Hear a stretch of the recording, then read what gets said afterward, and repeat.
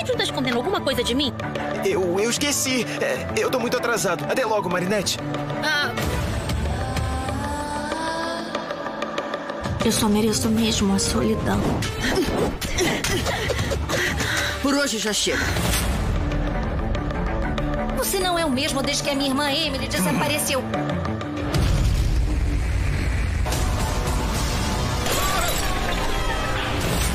Sul, abra minhas asas! O que você fez?